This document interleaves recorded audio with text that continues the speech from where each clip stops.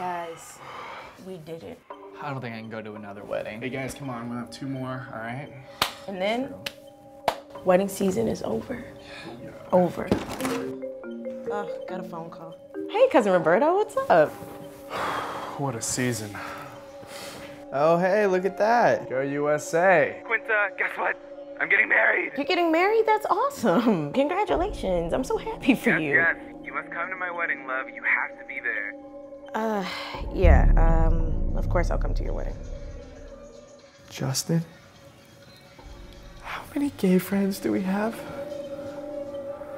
We majored in musical theater. There'll be a pre-wedding, the reception, the second reception. How many celebrations are you having? That's double the weddings. Sorry, wait, in how many different cities? Well, three.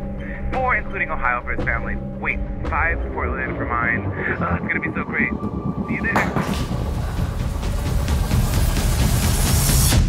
It's not over. I'm gonna stick out like a straight white male at a gay man's wedding. We have to go to 47 weddings in the next two months. Oh no, it's 48. Not only are you guys invited to the wedding, Quinta, I want you to be my bridesmaid, and Justin, I want you to be my bridesman. I'm gonna have to be a bridesmaid and double the weddings. Double the weddings. It's double the weddings. Double the weddings.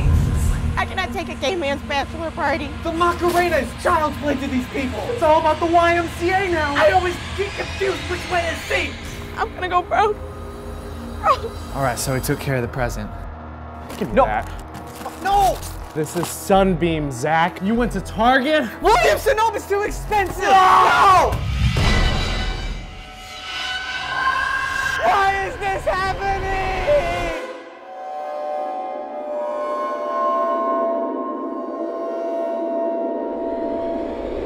We're friends. Till death do us part.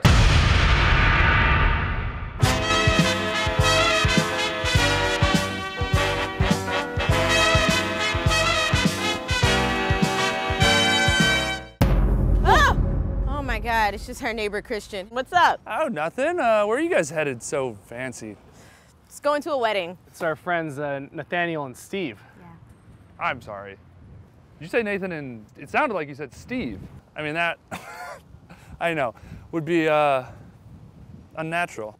Run. He's a conservative. Run!